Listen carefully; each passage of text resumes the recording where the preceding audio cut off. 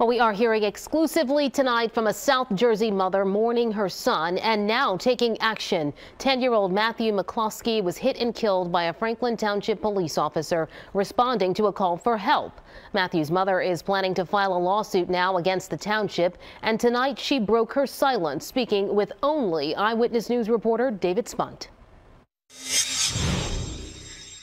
Just his hugs and his kisses, and I just always telling me he loved me. 10 year old Matthew McCloskey's mother, Michelle Harding, says she'll never get over her son's death.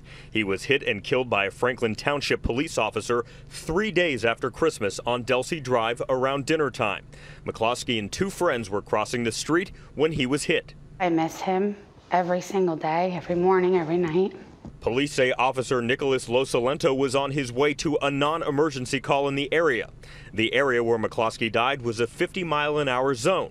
Police say Losalento was going 74 and was not using his emergency lights and siren when he hit and killed the 10-year-old. And there was no reason why those lights shouldn't have been on.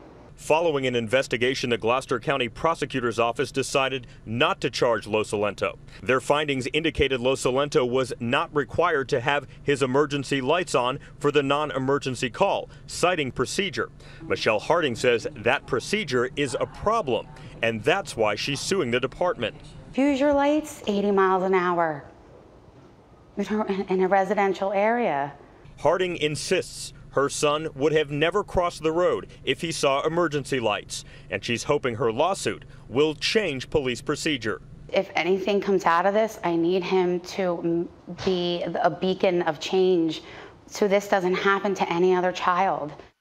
I reached out to the law firm representing the township and asked about the pending lawsuit. I was told there would be no comment until they actually see a lawsuit.